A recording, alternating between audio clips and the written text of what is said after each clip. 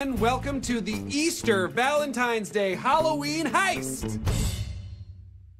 We will once again pick up where we left off. The Infinitude Gems. You guys are still doing this? You know it's April now. Yeah, Terry, we're still doing it, and we're still having a great time. Why are the gems so pale? I guess Scully's inside sapped all the color out of them. I don't know, babe, you're undercutting my whole thing with Terry here. Anyways, the Infinitude Gems will go back to Bill, whose life seems to have unraveled even further. Tough march for you there, bud? Yeah, just a heads up. I sold my pants with the pockets, so I'll be putting the gems in my undies this time. No! I'll give him a fanny pack. Can I keep it?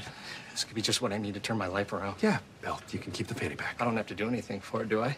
Because I will, if you ask. I'll do anything. Even.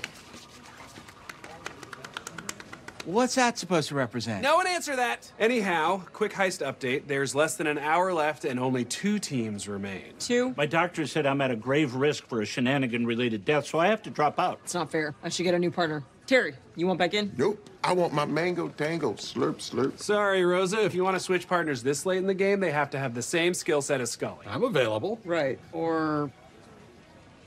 That filing cabinet kind of looks like Scully. I see it, same flat top. But if we really want to make this a fair switch, it seems like you need to start in the men's room. Come on. Let the heist re-re begin!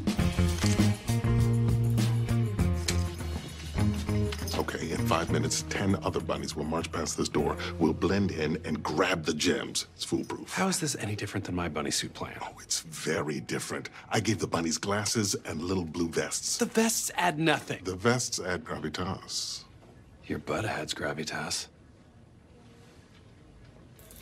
Get ready. Bunnies are gonna be here at any moment. How do you know this is their plan? Because Jake frickin' told me. He did? Yeah, he's so frustrated with Holt, like I knew he would be, that it's all he talks about.